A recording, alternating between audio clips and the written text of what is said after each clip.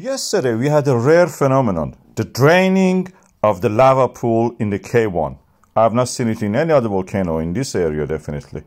And this is what happened. We had the lava oozing out all the time through that smoking uh, lava tube into this uh, contained uh, uh lava pool. And then as the time goes by, you can see that this starts to boil. That's the sign that the lava is getting drained. If something is uh, creating a vertex in it and practically uh, breaking the hard surface of the uh, crust of the lava and then it starts to boil as it drains. So that's what we know. When it starts to have this kind of flashes, it's going to drain. This is a lava pool which is interesting because we are seeing it now draining. I'm speeding it up so you can see quickly. This is 200 times I'm speeding it up and uh, as you can see it does it very dramatically.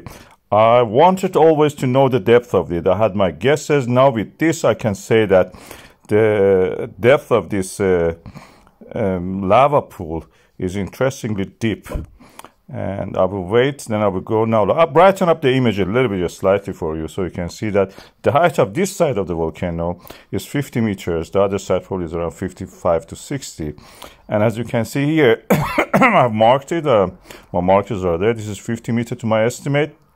The lava pool from the base of that uh, surrounding area which is not very big actually 16 meter.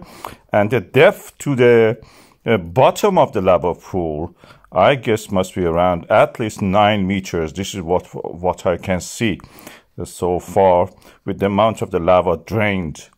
So this one is around nine meters, or uh, give or take uh, minus one uh, or plus one, and that's the depth of the volcano. These are the dimensions.